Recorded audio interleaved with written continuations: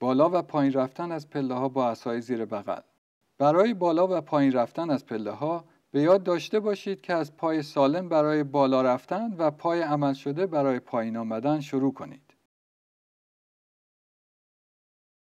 برای بالا رفتن از پله ها اول پای سالم را روی پله بگذارید. نرده پلکان را بگیرید، پای سالم را روی پله بگذارید، عصا را روی پله بگذارید، سپس پای عمل شده را بالا ببرید.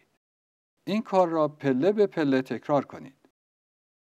وقتی از پله ها پایین می روید نرده ها را بگیرید.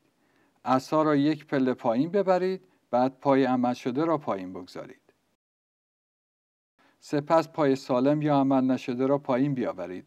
این کار را پله به پله تکرار کنید.